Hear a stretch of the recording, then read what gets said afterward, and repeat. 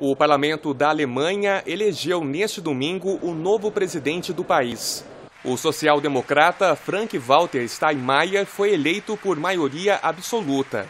A votação aconteceu no Bundestag, a Câmara Baixa da Alemanha, com a presença de deputados e representantes de estados federados.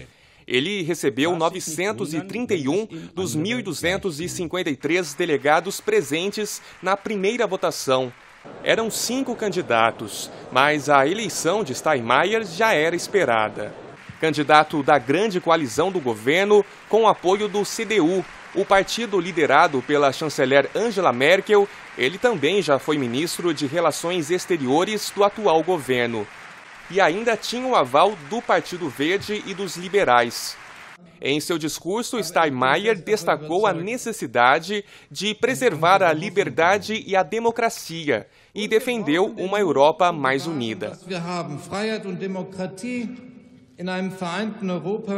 Na abertura da sessão, o presidente do Bundestag, Norbert Lammert, criticou as medidas protecionistas de Donald Trump.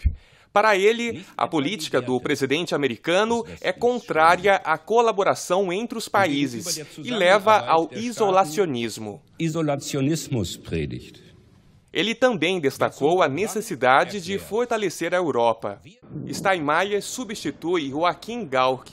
A eleição do chefe de Estado na Alemanha acontece a cada cinco anos. O eleito tem uma função representativa e não exerce o poder político.